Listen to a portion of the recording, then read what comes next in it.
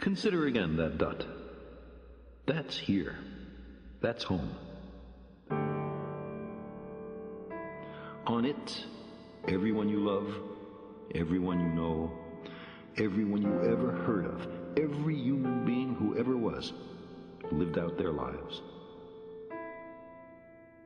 The aggregate of our joy and suffering, thousands of confident religions, ideologies, and economic doctrines, every hunter and forager, every hero and coward, every creator and destroyer of civilization, every saint and sinner in the history of our species lived there on the mote of dust suspended in a sunbeam.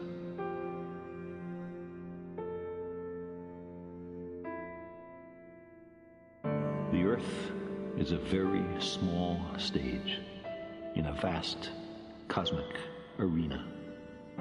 Our planet is a lonely speck in the great enveloping cosmic dark. In our obscurity, in all this vastness, there is no hint that help will come from elsewhere to save us from ourselves.